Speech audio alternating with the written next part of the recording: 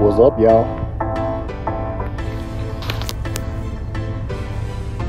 So, what we're going to have today is a motivational Monday. Yeah, motivational Monday.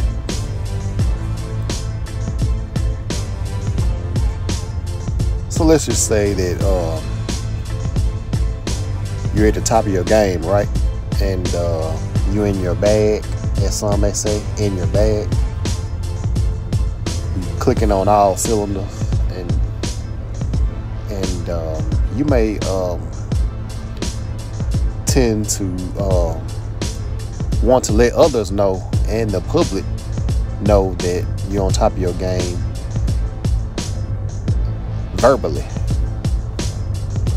And and it may not be re- it may or may not be received well by some people you know you may get called arrogant conceited or full of yourself,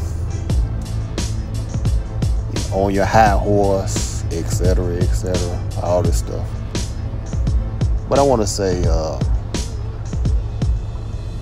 let all that talk go in one ear and out the other because they're trying to bring you down off of your square you know so they can so they so you can be uh, average or mediocre like they are.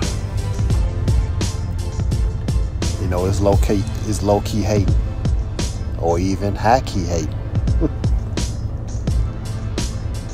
That's just it what it is.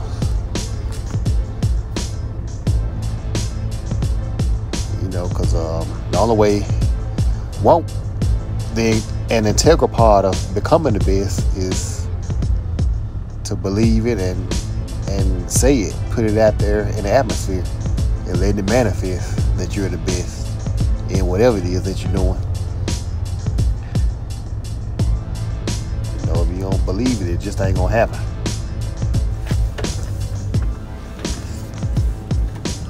So, ignore all that negative talk and ignore the negative Nancy's and the and the uh, David Downers and and uh, people like that. Ignore them. Take it with a grain of salt. You know, don't pay them no attention.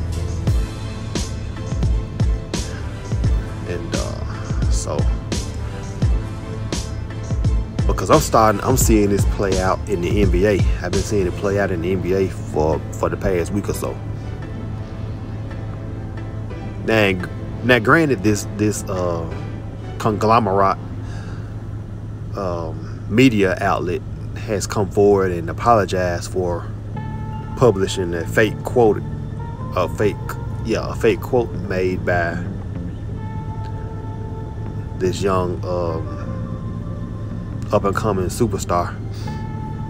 You know, because he, he came out and said that uh, he was quoted, well, he was misquoted he said that if he was playing in in a guy's era, and the guy he's he's talking about, who he's referring to, uh, he's a Hall of Famer. He's won several MVPs. He's won six finals. He got six championships. He, he appeared in several NBA finals. And this young man said, if I was playing in his era, I would cook him. I'd cook him too. and some perceive that as being arrogant, you know. They say he need to settle down. He need to be more humble. He too cocky. He doing too much. He saying too much. But it turned out to be fake. It turned out to be a hoax. It turned out, it turned out to be fake news. But uh, I think he did say something, but they might have blew it out of proportion or took it out of context, context as usual you know. But even if he did say it, so what? That say so what, you know. Like I said, you know, you want to be the best, put it out there in the atmosphere, put it out there in the universe, let it manifest. So it manifest. So it's called speaking it, speaking things into existence. You know what I'm saying? Yeah. So I just wanted to hit you all with that. Some people may uh, may not need to hear something like that this morning to start their week off.